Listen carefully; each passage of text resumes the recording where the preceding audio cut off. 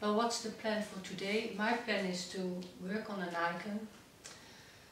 Most of the time I, I'm working on some icons at the same time. So then the difficult part is only to choose on which one.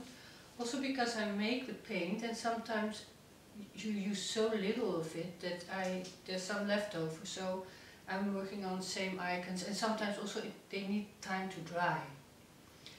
So it's important to be patient and to leave it for a while, not to work on it when it's wet too long because sometimes it's good and then you can ruin it.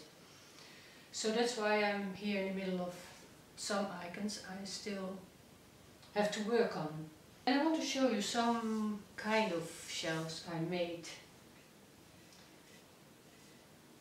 The big one. Um, oh, it's not that big, but you can, it can stand on itself. As I've shown, maybe you've seen the video of the angel. Uh, I made five of these and I still have three left. So, and I like it, but it's, I like the shape of it, but to work on it, it's not that easy because it's high. You cannot really lay your hand down. This is another one I made. Very good stuff. It is uh, pressed wood, but the good part of it is that it doesn't uh, bend. And that's the difficult part sometimes with wood. This one, it has been bending a lot because it was uh, a shelf we used in the kitchen for years to cut the bread and the vegetables. So, and I had it dry for, for a while, but when I had prepared it, it started to work. So on some places you can also hear that the cloth, because you work with uh, cotton, it came a bit loosened from the wood. Doesn't matter, but uh, it can burst sometime. Uh, but I like the shape of it and it, I like to work on pieces as well. And because of that, I took this one, I think it's handmade because it's very unequal and I took it from the recycle for a few euros.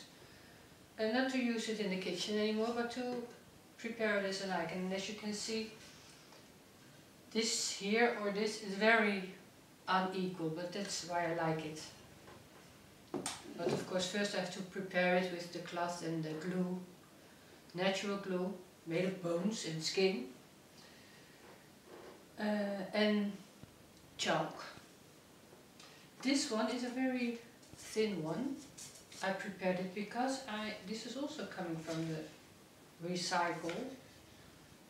It's unfinished but I like it as a frame for an icon but it has this shape so I made this kind of board, piece of board just for fun. And, uh, and also this of course is a piece by itself. I can make something very nice out of it. Um,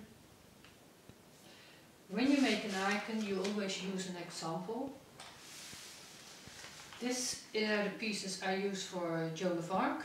It's a painting, it's a modern painting, but I can make it in the icon style if I work a bit more on it. This is uh, a mother Eleusa, which means the mother of tenderness, and I use it as an example for the blue one I just showed. Um, and as you can see, it's totally getting totally different when I'm making it. And this one I use for my Mary Magdalene, I got it from internet. Uh, it's very yellow, the face is much, is very sad, so this is what I made of it.